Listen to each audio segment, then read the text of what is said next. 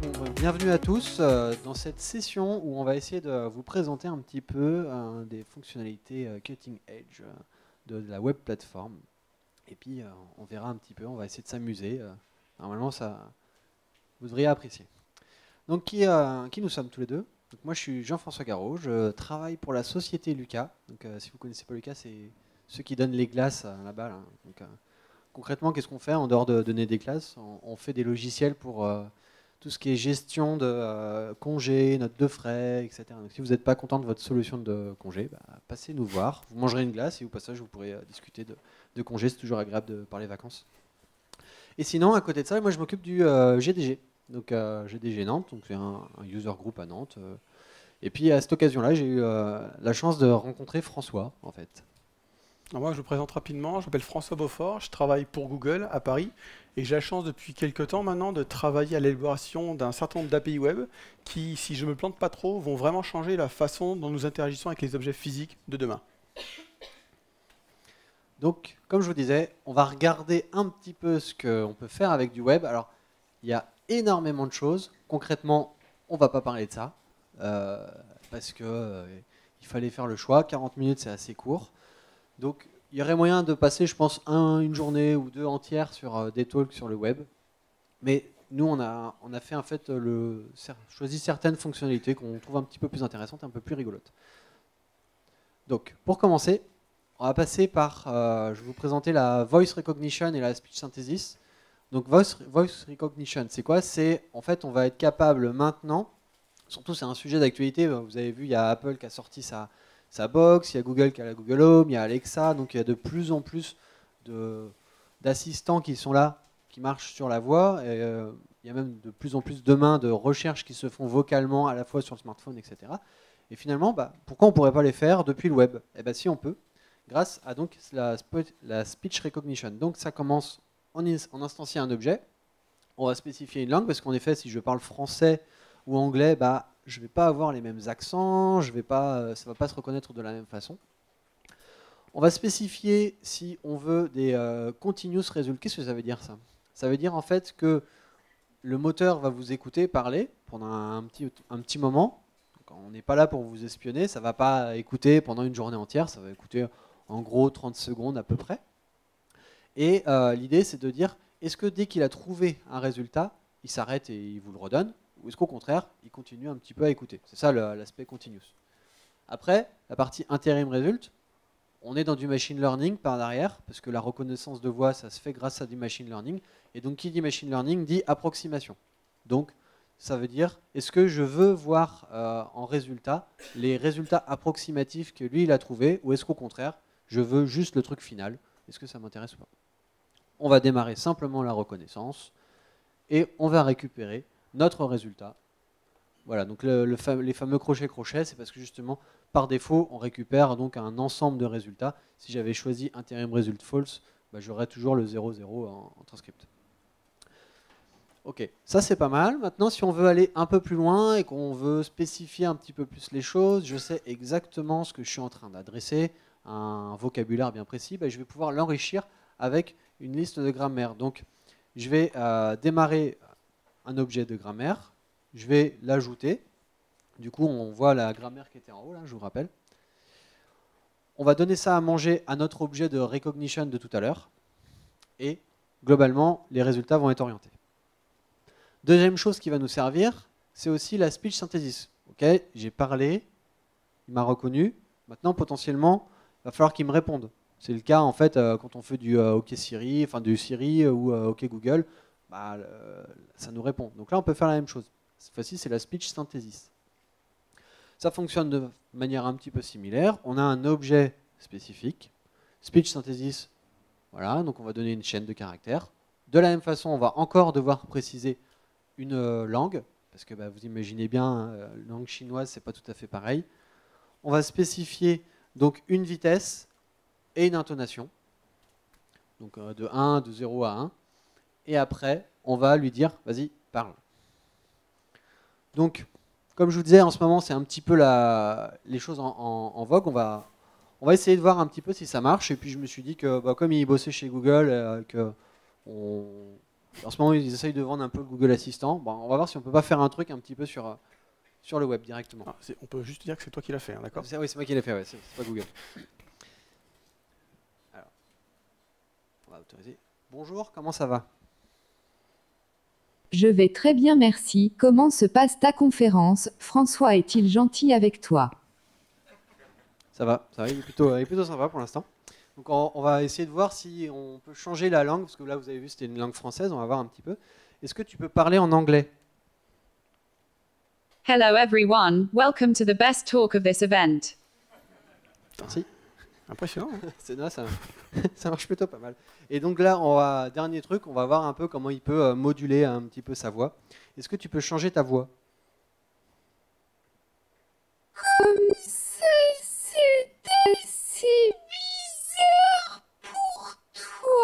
Comme ça, c'est assez bizarre pour toi. Oui, en effet, c'est plutôt bizarre. Donc on voit là, j'ai à la fois changé le rate et le pitch. Du coup, ça a fait des trucs euh, très bizarres. T'as envie d'essayer un petit peu, toi, François? Bah Ouais. Vas-y, je te, je te lance. Là. Alors, je sais pas, où sommes-nous? On recommence. Où sommes-nous, s'il te plaît? Voyons François, nous sommes dans ta session, je trouve que tu n'as pas l'air très réveillé. Est-ce qu'il y a du machine learning là-dessous? Camoulox. Ok. Allez, passe, passe au slide suivant. Très bien, passons au slide suivant. Ok. Bon, bref, du coup, euh, on peut interagir vraiment euh, finement. Et puis, si après on branche ça sur des API, euh, donc API.ai par exemple, bah, on va pouvoir créer des, des, choses, des assistants vraiment dans le web, enrichir très fortement notre interface. Je te laisse la main là pour euh, continuer. Ça serait gentil, ouais. Euh, moi j'ai une petite question pour vous. Euh, par applaudissement, combien d'entre vous êtes familier avec la techno Bluetooth Low Energy? En gros, voilà, on peut dire personne, on est bien d'accord. Donc, bon, déjà, ça me fait mal à mon petit cœur, ça, se dit. Maintenant, je vous en veux pas trop. le Bluetooth, c'est une techno qui est super vieille. Vous savez quel âge elle a, cette techno En gros? 20 ans. Ça fait 20 ans que le Bluetooth est là. Sauf que récemment, il y a une nouvelle techno qui s'appelle le Bluetooth Low Energy qui est apparue. Et on parle désormais plus uniquement que de casque audio Bluetooth ou de souris, mais d'une toute nouvelle gamme d'objets Bluetooth qui sont connectés. Contrairement à d'autres technos comme euh, le Wi-Fi ou l'Ethernet, qui n'ont cessé d'accroître leur taux de transfert au fur et à mesure des versions, le Bluetooth Energy, lui, s'est dit essayons de concevoir une techno qui ne coûte rien, ou quasiment rien, et que l'on pourrait intégrer facilement à des milliers d'objets qui ne sont pas encore connectés? Ces contraintes-là, elles expliquent les taux de transfert en Bluetooth Energy, donc en BLE, qui sont très faibles. Maintenant, rassurez-vous, le Bluetooth Energy est principalement destiné à des objets pour lesquels les taux de vitesse sont bas et l'autonomie cruciale. Alors, de quel type d'objet je veux parler? Bah, Par exemple, ça, c'est une bougie Bluetooth. Et je vais vous montrer comment la contrôler. Donc, je vais l'allumer. Et je vais aller sur un simple site web. Cliquer sur un bouton connecté. Chrome va me demander, est-ce que tu veux... Ouais, c'est bon? Je clique sur le bouton pair, et maintenant je vais pouvoir changer la couleur en rouge, en vert, en bleu, m'amuser avec certains effets qui sont directement euh, intégrés à la, bougie, et mon préféré, celui qui ravira vos soirées les plus romantiques avec votre partenaire, le Rainbow Effect.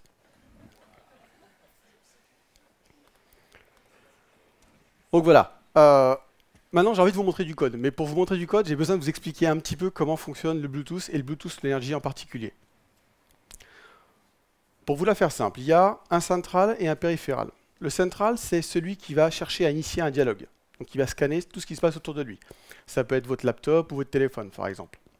Et de l'autre côté, vous avez le périphéral. Le lui, c'est un objet qui va simplement émettre sa présence en continu jusqu'à ce que quelqu'un veuille bien se connecter à lui. Ça peut être euh, un frigo, un beacon, euh, une bougie ou que sais-je encore. Une fois connecté, le central, euh, une fois connecté, le central va directement pouvoir parler au périphéral. À ce moment-là, le périphéral va en général cesser d'émettre sa présence et on va pouvoir directement parler avec le serveur GATT. Là encore, pour la faire très simple, le serveur GATT, c'est celui qui vous permet de communiquer avec les différents services contenus dans l'appareil. Il existe une multitude de services Bluetooth, standardisé comme le service de la batterie, mais vous pouvez bien évidemment créer les vôtres, et c'est ce que tout le monde fait. Chaque service contient une ou plusieurs caractéristiques qui ont chacune leur propriété. On peut lire la valeur d'une caractéristique, donc en l'occurrence là dans le service de la batterie, il y en a une qui s'appelle euh, battery level, donc qui est le niveau de, pourcentage, euh, de batterie restante en pourcentage euh, de l'appareil.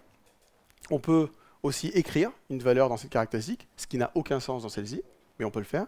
Et on peut aussi être notifié lorsque la valeur d'une caractéristique change. Et c'est tout. Avec ça, vous connaissez quasiment 90% du Bluetooth. C'est faux, mais pour, euh, pour ce talk, ça suffira. Donc, un serveur GATT qui contient un ou plusieurs services qui contiennent à leur tour une ou plusieurs caractéristiques. Et c'est tout. Donc voici le code JavaScript pour euh, scanner des objets Bluetooth qui se trouvent autour de vous. Donc là, ce qui se passe. Pas gentil, toi. Euh, pour que l'utilisateur puisse choisir un objet qui se trouve autour de lui, le développeur va appeler la méthode navigator.bluetooth.requestDevice. Ça, on va afficher une fenêtre système modale qui va contenir la liste des objets qui sont près de lui. Maintenant, je peux lui passer aussi un objet option, qui est tout sauf optionnel au passage, euh, et qui, dans cet exemple-là, va dire « tu ne m'affiches que ceux qui supportent le service de la batterie ». Une chose que je ne vous ai pas dit tout à l'heure, c'est que lorsqu'il émet sa présence en continu, il peut aussi émettre un certain nombre de données, comme son nom, son type, mais aussi euh, la liste des services qu'il supporte. Et comme le service de la batterie est un service standard, là je peux directement utiliser la string batterie underscore service. Et c'est tout. À partir de là, l'utilisateur va pouvoir donc sélectionner, cliquer sur le bouton pair, et je vais pouvoir ensuite me connecter au serveur GAT avec device.gat.connect. Donc là j'ai une petite souris euh, en Bluetooth Low Energy, et comme ces slides c'est du web, je vais directement pouvoir ouvrir ma console, cliquer, sélectionner la, donc la souris qui s'appelle MX Master, et maintenant il me dit que cet objet est connecté. Et c'est tout. Cinq lignes de JavaScript, et j'étais capable de me connecter à cette souris. Il y a deux choses super importantes sur cette méthode. La première, c'est que on ne peut l'appeler que sur des pages sécurisées, donc en HTTPS. En localhost, ça marche très bien pour le développement, mais lorsque vous le passez en prod, c'est forcément du HTTPS. Deuxième chose, je ne sais pas si vous avez vu, je mets ça dans une fonction onClick. C'est-à-dire qu'on ne peut pas appeler cette fonction euh, sans que l'utilisateur ait interagi une première fois avec le site web. Et ça semble normal, tu n'as pas envie d'arriver sur un site et avoir un petit prompt Bluetooth qui sort de nulle part. Donc en général, un simple clic sur un bouton suffit. Donc ça, c'est comment faire pour scanner et se connecter à un objet. Maintenant, je vais montrer comment lire la valeur d'une caractéristique. Alors, dans un premier temps, je vais récupérer le service de la batterie avec getPrimaryService, récupérer la caractéristique avec getCharactéristique, et là, je vais simplement appeler la méthode readValue pour lire la valeur qui est contenue dans cette caractéristique. Le code là que vous voyez à la fin, c'est simplement la façon standard de récupérer le niveau de batterie. Et comme ma souris contient un service de batterie standard, je peux directement le lire en cliquant dessus. Alors, combien Qu'est-ce qu'il me reste? Il me reste 50%, ce qui devrait être largement suffisant pour terminer ce talk. Donc ça, c'est comme ça que l'on lit une valeur. Écrire une valeur dans une caractéristique, c'est super simple vous récupérez le service qui s'appelle gap, c'est pas moi qui l'ai nommé. Ensuite, la caractéristique qui s'appelle gap.deviceName qui correspond au nom euh, de l'objet. Et pour finir, je vais appeler la méthode writeValue avec une string encodée plum plum. Donc ce code-là me permet de renommer n'importe quel objet Bluetooth qui expose ce service standard en plum plum. Après, évidemment, vous pouvez euh, choisir une autre string que plum plum, on est bien d'accord. Hein. Et pour finir, voici comment recevoir des notifications vous chopez le service du heart rate, donc du, rythme cardiaque. Vous récupérez la caractéristique associée. Et avec la méthode start notification, et en ajoutant un event listener characteristic value change, ma fonction que je lui passe, onValueChange, va être appelée à chaque fois que cette caractéristique, en tout cas que la valeur de cette caractéristique change. Maintenant, pour euh, vous montrer un petit peu comment ce code-là fonctionne, j'ai sur moi un capteur de rythme cardiaque. Et en cliquant dessus, normalement, donc je suis entre 70 et 80 en général, mais là, comme vous me regardez tous, je devrais être un peu plus haut, je pense. Donc on va regarder, je respire. Voilà, bon, un peu plus, c'est normal. Euh, l'être humain entre 70 et 80, moi c'est plus 80, je fais pas beaucoup de sport. Maintenant, pour vous prouver que c'est vraiment moi, et que j'ai bien un capteur de rythme cardiaque, je pourrais faire ça, mais c'est pas très sympathique. Donc je vais juste faire quelques pompes, et logiquement, vous devriez voir apparaître... Non mais attendez, ça devrait monter. Euh, c'est pas toujours vrai. Donc, euh, je te fais confiance pour me dire quand ça monte je te ou quand ça ne monte pas. Ça met toujours un petit peu de temps, hein, ok fais, fais pas une attaque hein, non plus. Hein. Non, non, c'est bon. Ah, ça, monte ou pas Non, non, non. Vraiment Non, non, non. Non, si c'est bon, vas-y. C'est bon Donc ça monte après en général. voilà. Donc voilà ce qu'on peut faire avec euh, l'API Web Bluetooth. Là, ça monte toujours quand même. hein. Ah bah, Voilà. Est-ce que tu as autre chose à présenter au niveau Oui, oui, non, moi j'ai moi, j'ai un petit. euh, Un truc un peu mieux ah, ouais, mieux, je sais pas, mais euh, un petit joujou. Ça, c'est euh, un Mbot. C'est un, un jouet que j'ai acheté pour ma fille, euh, pour euh, faire de la programmation avec elle. À quel âge? Euh, elle a 7 ans. Donc, euh, c'est- je l'ai- je l'ai vraiment acheté pour ma fille. Bon, après, c'est moi qui joue avec, mais euh, bon, euh, c'est c'est autre chose. Et il se trouve qu'il propose aussi un service euh, de web Bluetooth, enfin de Bluetooth Low Energy. Donc je me suis dit, bah, et si j'écrivais une appli pour ça, pour contrôler finalement ce petit robot depuis une simple page web? Donc on, on va l'allumer. Donc euh, François, est-ce que tu peux euh, me donner, s'il te plaît, mettre. l'URL Ah oui, alors on va, on va montrer un peu ce qui se passe sur le, sur le téléphone. Voilà. On Donc ça. d'essayer de se connecter. Ok, alors, vas-y. Donc c'est jeff.pinomed. Alors, Point, slash, je sais plus ce que c'est après. Pinomed. Attends, attends, Jean-François. Oui, Euh, là, tu la connais l'URL. Tu la connais l'URL. Ouais. C'est quand même bête que tu sois obligé de la taper. bah c'est embêtant. Ça serait cool quand même si l'URL pouvait directement venir vers toi, non? Je préférerais. Je préférerais. Si t'as quelque chose pour moi, ça m'intéresse. Eh ben écoute, j'ai un petit truc. Ah. C'est un beacon. Et pour le coup, ce que je viens de décrire là, c'est exactement une des missions du projet open source du Physical Web. Son but, c'est que vous puissiez connecter votre smartphone avec n'importe quel objet connecté sans avoir besoin de télécharger une application dédiée pour cet objet au préalable. Ça semble magique comme ça, mais comment ça marche techniquement? Bah Là, ce qui se passe, c'est que ce petit beacon Bluetooth, en plus d'émettre sa présence, comme n'importe quel autre objet Bluetooth Energy, émet en plus une URL d'un site web qui permet directement de contrôler cet objet-là. Donc ce que j'ai fait, c'est que je t'ai fait ce petit beacon-là. Et si tu regardes dans ta barre de notification, Alors, on va regarder. Alors, attends, alors voilà, tous les tweets, les mails, on les Voilà. enlève. Ah. On va plutôt... Je vois ça là. Voilà, ça, Mbot Web Bluetooth. c'est ça. Super. Donc là, on va se connecter. Très bien. Wouh Super. Donc là, ouais, donc j'ai j'ai une page web, j'arrive à contrôler mon robot, c'est super. Euh, je suis sûr que vous êtes tous sceptiques en vous disant bah, ils sont encore partis sur une euh, version euh, custo de, Chrome, de Chrome, etc. Et, euh, et globalement, ça marchera jamais sur mon téléphone. Eh bien non. On- là, non, on arrive sur le moment le, globalement le plus critique. Parce que je vous ai pas dit en fait au début de cette présentation, c'est une présentation à très fort potentiel de- d'effet démo. Et je pense que là, on arrive à son paroxysme. Normalement, on est pas mal là. Là, on est bien là. Euh, globalement, moi, la notification que j'ai reçue, vous pouvez tous la recevoir là. Donc, je veux bien que vous regardiez sur euh, vos téléphones, hein, voir s'il y en a qui, qui l'ont. Enfin, Si vous avez Bluetooth activé et que vous avez une connexion Internet, Ouais. vous devriez être bon. Allez. Allez. Faut être sur Android aussi. il faut être Ça nous arrangerait, hein. Ouais. Oh là là, t'es carrément Allez, on est web today. hein. Ouais. Donc, s'il y en a, normalement, si ça capte, personne là. faut avoir activé le Bluetooth. Ouais, c'est vrai, c'est normal, du coup. ça marche? Normalement, vous devriez pouvoir prendre le contrôle de ce robot. Faites attention quand même, hein, on est sur un... une seule personne à la fois par contre. Le premier qui arrivera à matcher, qui arrive à se connecter. Voilà. Le premier qui le contrôle, il gagne ce beacon. Oh là Oh C'est qui? C'est qui? Ouais, bravo Le mec a levé la main, c'est pas vrai, mais c'est pas grave. Bon, ouais. Vas-y, fais un buzz. Buzz Ok, beau gosse. Super. Donc là, je sais pas si vous vous rendez compte ce qui vient de se passer.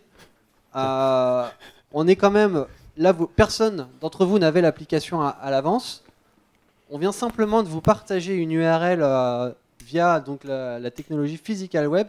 Et il a pu interagir directement avec cet objet. C'est quand même euh, assez incroyable quoi qu'on puisse faire ça maintenant. Quoi. C'est fou, en Ouais. vrai. Je voudrais juste revenir sur le côté du physical web. Donc là, ce qu'on a vu, c'est euh, une URL qui est émise et qui peut permettre de contrôler un objet.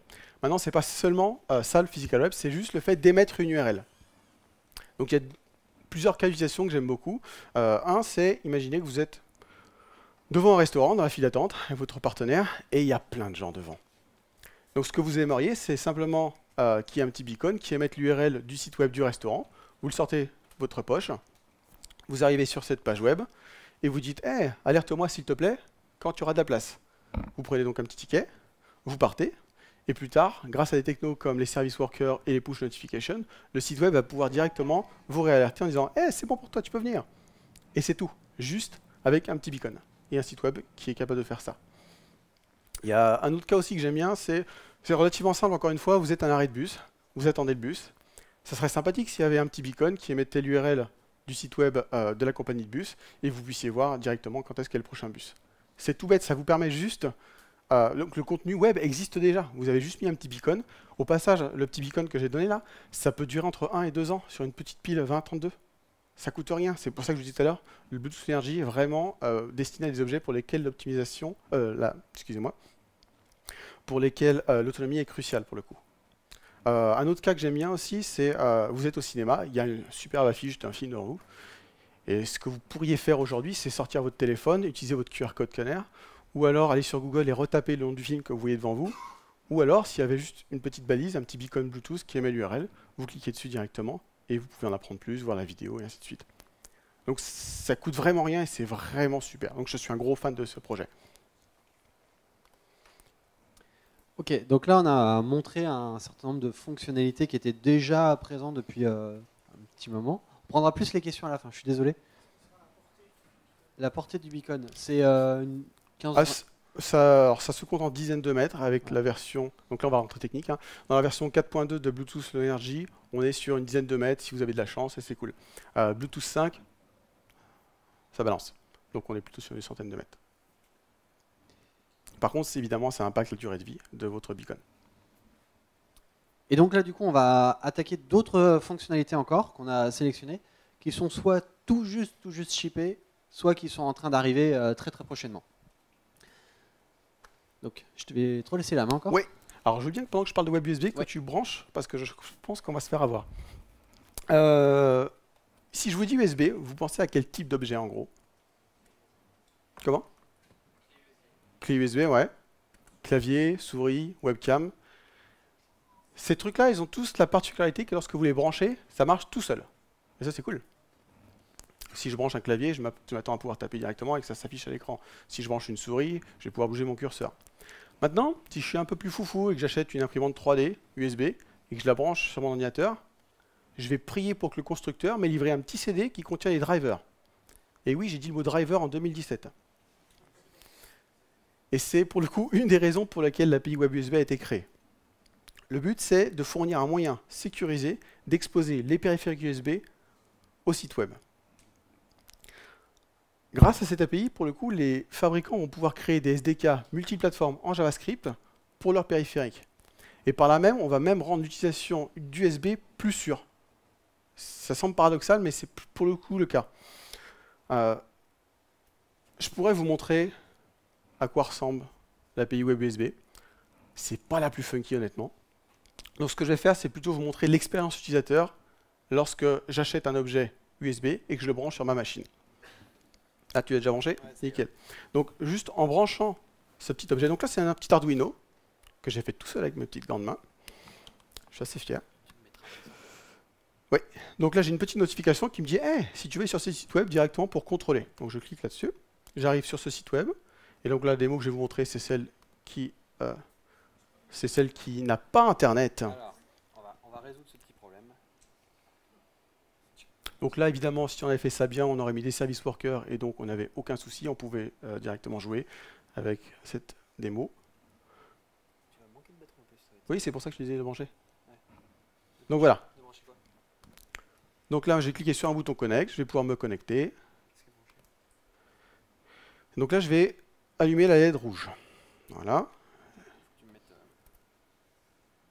Je suis vraiment désolé pour cette incompétence de notre part. Ne rigolez pas. Est-ce qu'on peut Donc là, c'est simplement... Voilà. Euh, voilà. Donc là, j'ai une petite LED rouge, rouge pardon, qui s'allume grâce à du JavaScript. Euh, je vais faire ça pour chacune des LED. J'aimerais bien qu'il y ait un petit peu de vous qui... Donc voici la verte. Les mecs se forcent un max. Et la bleue, ma préférée. Ouais. Oh. C'est gentil. Ils sont chauds, hein. Ils sont très sympathiques surtout.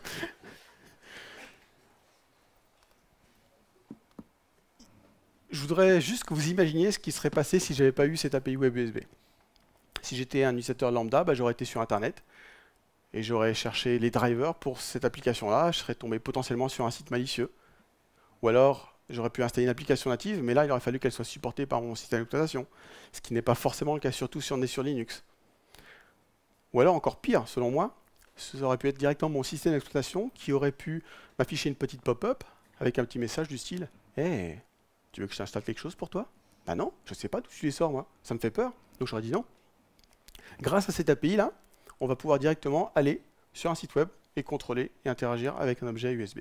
Donc j'espère vraiment que les fabricants euh, de devices USB vont s'y mettre et rendre leur device web USB friendly. Ce qui, au passage, ne coûte quasiment rien. C'est littéralement 2-3 lignes qu'on rajoute en plus. Le dernière. Ouais, ouais, vas-y.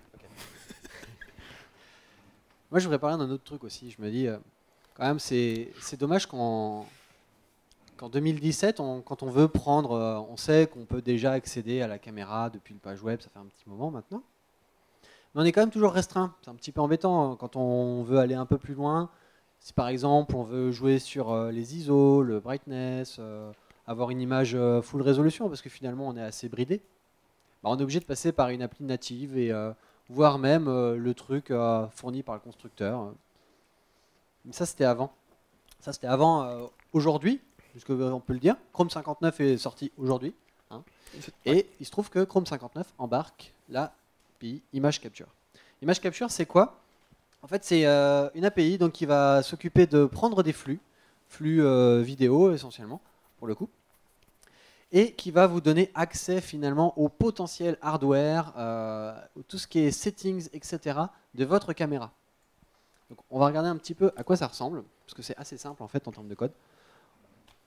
On récupère le user media, donc c'était un truc de WebRTC. Au passage, pour ceux qui suivent le WebRTC, WebRTC c'est de la visio hein, dans, le, dans le web. Il se trouve que Safari a annoncé, ça y est, le support de WebRTC. C'est une, une annonce énorme. C'est trop bien. Moi, je suis hyper content. Bref, je suis peut-être le seul dans cette salle, mais euh, voilà. Euh, Ah, on récupère donc user media. Je vous ai dit, on récupère des streams, donc on va potentiellement choisir. Là, ici, je récupère le flux de ma caméra, donc je récupère le premier. Et je vais récupérer les capabilities de mon, euh, stream. Ça veut dire quoi? C'est qu'est-ce que ma caméra euh, peut faire? Donc là, si je suis sur, on est sur la, la webcam là, donc du Chromebook de François. Quand je vais faire ça, je vais récupérer les possibilités hardware euh, de, de l'appareil photo, enfin de la webcam. Et donc là, par exemple, si je veux zoomer, si je veux vérifier, je vais regarder si zoom c'est dedans, et je vais appliquer la contrainte. Il y a deux types de choses. Il y a des contraintes qui sont live, qui vont être appliquées directement, donc je vais vous montrer après les deux, ou au contraire des choses qui vont être one shot au moment de la prise de photo. Par exemple, le zoom, le fait de jouer sur le zoom, on, applique des propriétés sur euh, le flux vidéo. On est en train de modifier en live le flux vidéo, donc ça, pour le coup, le applied constraint, c'est en direct. Et la deuxième chose après, ça va être euh, la récupération one shot d'un stream, enfin de pour aller un peu plus loin. Si je veux, par exemple, récupérer, comme je vous disais, la grande capacité de mon appareil photo, bon là, voilà, j'ai un appareil photo qui va faire 8 millions de pixels. Quand on récupère une vidéo en user media actuellement, on est limité à du Full HD, donc euh, 1980, etc. Mais moi, pourtant, j'ai envie de traiter une image qui fait 4000 pixels. Bah là, je vais devoir utiliser autre chose, le take photo. Le take photo, je vais pouvoir passer d'autres types euh, d'options qui, elles, vont être one shot et qui vont appliquer donc ces, euh, ces choses. Donc, par exemple, dans les- la liste des options, on a le zoom, la balance euh, des blancs, le contraste, le flash. Est-ce que je veux que quand je prenne la photo, ça active le flash? Là, est-ce que je veux une réduction de rouge? La réduction de rouge est donc quelque chose qui s'applique post, post-event. Donc, on a besoin que ce soit fait après. De la même façon, la taille, la résolution, c'est quelque chose. Il y a deux choses aussi autour de cette API. Il y a donc le take photo qui est pour quelque chose de full résolution. Globalement, vous êtes en train de créer une appli web qui va être une appli de photo, concrètement. Ou autre- autrement, vous avez envie d'avoir euh, des choses un petit peu euh, plus fines, plus réactives. Il y a une autre, app- une autre méthode qui s'appelle GrabFrame, qui elle va se limiter du coup à la résolution de votre vidéo, donc en maximum Full HD, mais qui vous permettra donc d'analyser, pareil, des flux euh, vidéo, enfin des one-shots de façon plus réactive. Donc, pour vous montrer un petit peu à quoi ça ressemble, on a, codé un petit truc. Donc là, par exemple, on est en train de récupérer le, flux vidéo. Et là, en fait, je suis en train de toucher directement aux paramètres de ma caméra. Donc vous voyez, je suis dans une page web. Je suis en train d'affecter directement les contrastes, euh, etc. de ma webcam. Parce que justement, j'utilise cette image capture. Et là, on est sur un Chrome stable. On n'est pas euh, sur une version euh, Canary ou quoi que ce soit. Quoi. De la même façon, donc je vous ai parlé tout à l'heure du, euh, zoom. On va regarder un petit peu. Là, il n'y a pas ça là sur. Il n'y a pas ça sur le. Alors, est-ce que ça va marcher? 1, 2, 3. Hop là, qu'est-ce qui se passe? Allez. Rafraîchis. Je suis sur je suis sur le Wi-Fi normalement. Ça devrait le faire. Ça charge. C'est en train de charger, vous voyez pas la barre de chargement. Et qu'est-ce qui se passe Ah, effet démo. Ça y est. Le premier. On va essayer. Après, si ça marche pas, c'est pas hyper grave. Ah, si, quand même. Non, mais là, j'ai plus rien. là. Euh, ok, je vais pas m'acharner plus.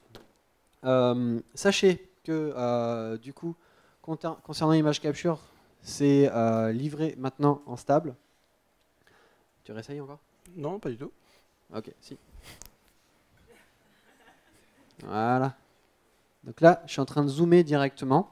Euh, et euh, en fait, si on regarde les, si on va après euh, carrément aller dans les browse samples, on va voir des, des choses qui sont mises en place, des playgrounds sur lesquels on va pouvoir tester toutes les capabilities qui sont disponibles. C'est HTTPS only aussi. Et en termes de, de use case, bah, moi je trouve ça plutôt intéressant parce que il faut le- l'envisager comme euh, un truc à coupler avec une autre API euh, qui s'appelle la Shape Detection, qui est, euh, qui est vachement intéressante, qui va permettre par exemple de faire de la reconnaissance faciale, de la reconnaissance de forme, de l'OCR, tous ces trucs-là. Donc on va pouvoir mixer toutes ces technos-là et finalement se retrouver avec des applis hyper riches. Tout à l'heure, je vous ai dit, je travaille chez Lucas, on fait des notes de frais. Et ben demain, par exemple, on- je vais très bien pouvoir envisager de coder l'appli de note de frais en page web simple et on va stocker des euh, photos HD de nos justificatifs, euh, tout ça sans passer par des applis natifs. Et ben ça, je pourrais le faire grâce à ces API là. Donc c'est vraiment, euh, vraiment intéressant. On va, hop, on va fermer ça. Du coup, ça, on n'en a plus besoin. Donc on arrive euh, un peu sur, euh, sur la fin de notre talk là pour, euh, pour conclure en fait. Avec François, on- n'est pas en train d'annoncer la mort des applis natives. On est plutôt en train de vous annoncer que un nouveau, des nouveaux potentiels sont, sont possibles pour vous. Vous avez vraiment des nouvelles fonctionnalités, des nouvelles API qui sont là pour vous aider à enrichir votre parc d'applications, à enrichir l'expérience utilisateur et à essayer d'atteindre un plus grand nombre d'utilisateurs. Moi, je parle régulièrement avec des gens qui en ont marre d'applis natives, qui préfèrent les désinstaller, etc., qui se- tournent vers le web. Et ben, globalement, le web demain ne sera pas moins intéressant que le natif. C'est un moyen supplémentaire d'acquérir du marché, d'acquérir des utilisateurs. En- pendant le Google I.O., euh, il y a eu, euh, qui était il y a 2-3 semaines, il y a eu une conf d'une boîte indienne qui fait un- une sorte de concurrent de, de Beurre, un service euh, dans ce genre-là. Et en fait, ils ont écrit une progressive web app. Alors, je ne vais pas revenir vraiment sur le concept de progressive web app. Globalement, c'est euh, tout un ensemble de choses modernes pour euh, faire du web maintenant. Et en fait, ce qu'ils ont constaté, c'est que grâce à cette appli web, ils ont réengagé 20% de- d'utilisateurs qu'ils avaient perdus sur l'appli native. Donc, ils ont enrichi leur parc d'utilisateurs grâce aux applis web. Et en plus, là, je vous, invite à regarder donc, tout ce qui se passe côté euh, sensor. Donc, on en a présenté quelques-uns, mais il en reste d'autres à venir. Il y a euh, le web NFC, il y a les generic sensors qui arrivent, la shape detection, il y a encore plein de choses à faire euh, autour de ça. Euh, plus toutes les implèmes après qui vont venir. Les progressive web apps, c'est vraiment un truc hyper in- intéressant pour engagement, côté responsive, réactivité, etc. Puis après, il y a là aussi tous les sorts des web components. Bref, le web est en très gros changement en ce moment, évolue vraiment bien. Chose aussi hyper importante concernant les progressive web apps, tous les frameworks nouveaux là, qui sortent, euh, React, Preact, euh, Vue, euh, Angular, euh, Polymer, tout cela, ils proposent maintenant dans leur ligne de commande directement de quoi faire des progressive web apps. Donc c'est un signe fort de la communauté vis-à-vis de ces mouvements-là. Bref, on est hyper enthousiaste avec François. Ça se voit pas, mais ouais. et, et donc, euh, on, pense vraiment qu'il y, a- beaucoup de choses à faire. On vous remercie. Si vous avez des questions, du coup, on a 5 minutes pour y répondre.